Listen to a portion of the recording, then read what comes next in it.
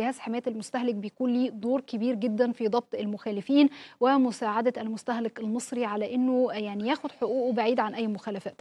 خلوني أرحب هاتفيا بسيادة اللواء راضي عبد المعطي رئيس جهاز حماية المستهلك برحب بحضرتك سيادة اللواء أهلا بيك.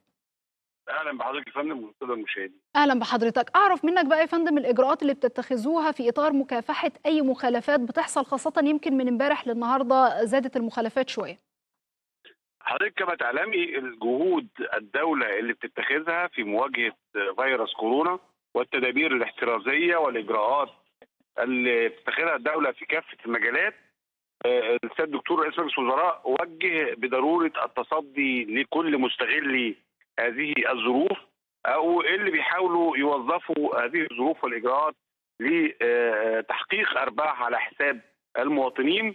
جهاز حماية المستهلك بالتعاون التام والتنسيق بين أجهزة الدولة المعنية مع الاداره العامة لبحث التموين مع الرقابة التموينية والتجارية بوزارة التموين. تنسيق تام بناء على توجيهات السيد الدكتور المستشار وزير التموين.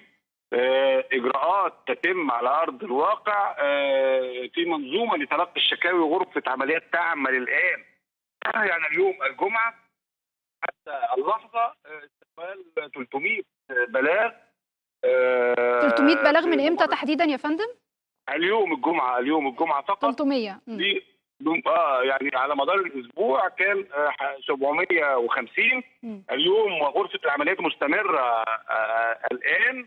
تلقي ما يقرب من 300 بلاغ عن ممارسات سلبية. بيتم بث هذه البلاغات مباشرة لفريق العمل اللي بيعمل بالتنسيق والتعاون بين جهاز حماية المستهلك ومباحث التموين والرقابة التموينية والتجارية.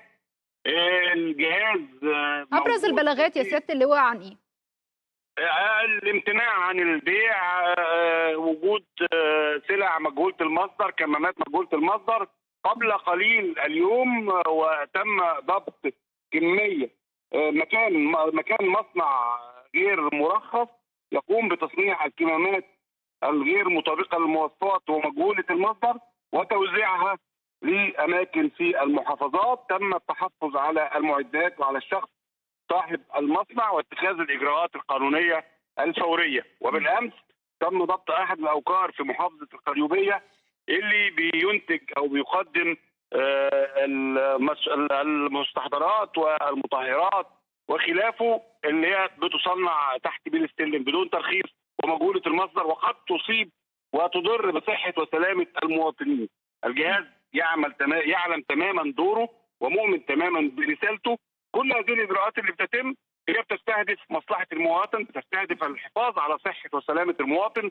توجيهات السيد الرئيس الدائمة الاهتمام بهذا الأمر، اتخاذ كل الإجراءات الرادعة لضبط الأسواق لحماية وصول حقوق المستهلكين الدور المهم والدور القوي وإحنا نثق فيه هو دور أهالينا من السادة المواطنين في كل مكان أي حد يبقى شايف أي ممارسة سلبية لا يتردد لحظة في الإبلاغ عنها. ارتفاع بقى في أسعار السلع في المراكز البيع غيره كل ده يتم التبليغ عنه مباشرة يا فندم.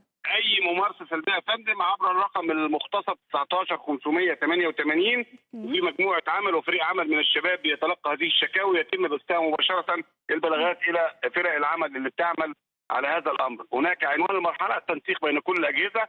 المواطن هو محور اهتمام أجهزة الدولة. الدولة لا تعلو جهدا في مواجهة هذا الفيروس أو في مواجهة الأزمات. الشعب المصري على قلب رجل واحد. رسالة لكل يعني المستغلين أو الجشعين اللي بيستغلوا هذه الفرصة. انه يضع المواطن والوطن أمام بصره وأن يتأكد أن المواطن المصري والتاريخ لن ينسى استغلالهم لهذه الظروف. القانون لهم بالمرصاد والمجتمع ضدهم.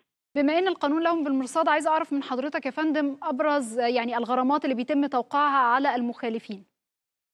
الغرامات يا فندم في قانون حماية المستهلك قد تصل إلى 2 مليون جنيه إذا تعلق الأمر بصحة وسلامة المستهلك.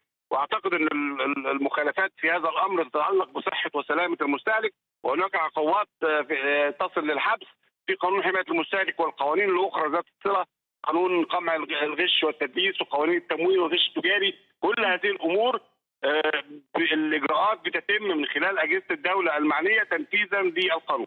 آه، هل في إطار المعطيات واللي حضرتك شايفه على الساحة حاليا من ممارسات المواطنين والباعة أو أي مخالفات بتحصل؟